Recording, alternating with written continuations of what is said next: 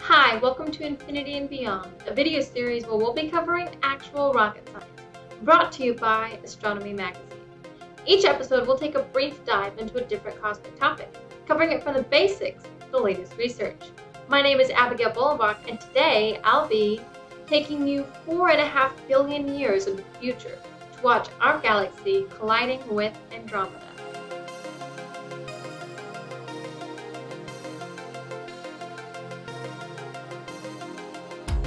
The Andromeda Galaxy is approaching the Milky Way at nearly a quarter million miles per hour. It is the closest major galaxy to our Milky Way and it's the most distant thing you can see with the naked eye at two and a half million light years away. Absolute chaos will begin as the two galaxies approach each other, eventually becoming Milkomeda. Everything will look like a massive pinball game with huge amounts of rocks, dust, asteroids, planets, and stars being thrown in all directions. Until 2012, it was not known whether the collision was definitely going to happen or not. Researchers concluded the galaxies would collide using Hubble to track the motions of stars in Andromeda with unprecedented accuracy. Such collisions are relatively common considering galaxies' long lifespans. According to simulations, the remnant will look like a giant elliptical galaxy, which is a blob-like galaxy without discernible spiral arms or an internal structure. Andromeda Galaxy contains about 1 trillion stars, and the Milky Way contains about 300 billion. The stars involved are sufficiently far apart that it's highly improbable that any of them will individually collide. For example, I'll give you a visual scale. The nearest star to the Sun is Proxima Centauri, about 4.2 light years away. If the Sun were a ping pong ball, Proxima Centauri would be a pea about 680 miles away. Although stars are more common near the centers of each galaxy, the average distance between stars is still 100 billion miles. That is like placing one ping pong ball every two miles. Thus, it's extremely unlikely that any two stars from the merging galaxy would collide, but some stars might be ejected. The Milky Way and Andromeda each contain a central supermassive black hole.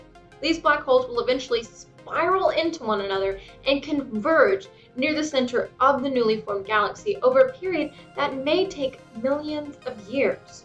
When the supermassive black holes come within one light year of another, they will begin to strongly emit gravitational waves that will radiate further orbital energy until they merge completely.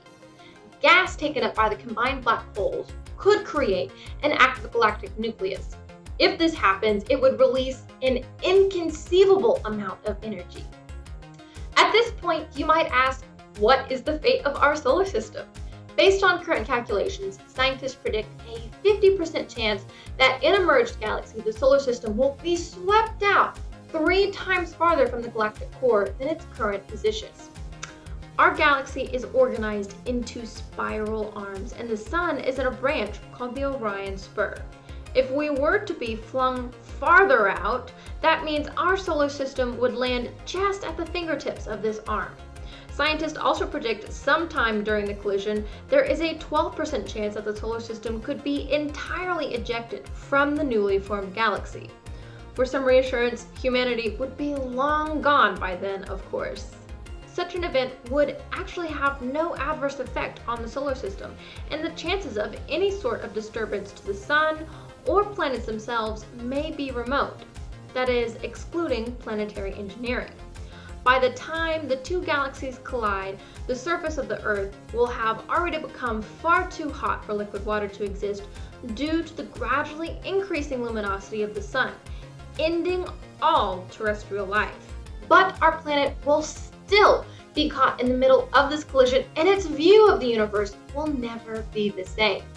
If we could, however, see the night sky still, whether from the hellish perspective of Earth or from the far reaches of the outer solar system, Andromeda would be growing larger in the sky, and eventually, about 4 billion years from now, it could possibly stretch from horizon to horizon like a serene rainbow of dew.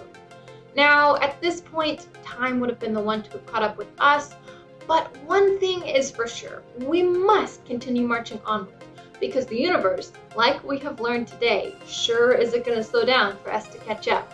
Remember, there is no limit when you're watching Infinity and Beyond.